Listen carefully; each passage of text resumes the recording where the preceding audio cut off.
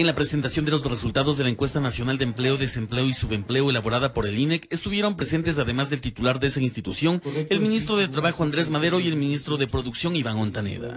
Según la presentación, el empleo adecuado creció de 37.9% a 38.8% entre marzo y diciembre de 2019. De marzo, junio, septiembre y diciembre de 2019 las cifras van en continua alza y están estableciéndose esos factores de determinación. A pesar de ello, si se compara la población con empleo adecuado del total nacional entre 2018 y 2019, se nota que existe una reducción de 115 mil trabajadores que ya no cuentan con empleo adecuado. No debemos quedarnos, como le digo, solamente con la comparación, porque yo también podría comparar con el año diciembre de 2013, diciembre de 2014 o alguna cuestión así.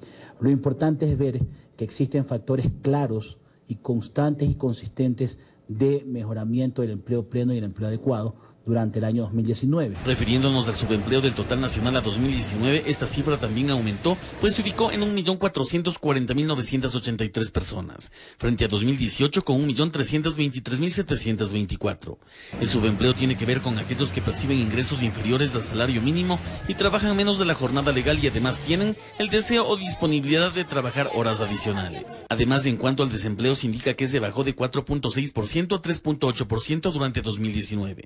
El estudio da cuenta que las acciones y políticas del gobierno habrían mitigado el impacto de decrecimiento de fuentes laborales. El esfuerzo que está haciendo el gobierno, el esfuerzo que se le ha pedido también al sector privado, es un esfuerzo conjunto. Al Ecuador lo sacamos juntos, públicos y privados, trabajando. Los ciudadanos quedarían sin empleos, que salgan del sector público, la masa salarial, ya estamos en conversaciones y en programas para adopción en el sector privado. Los datos mostrarían que el Ecuador tendría la tasa de desempleo más baja de la región.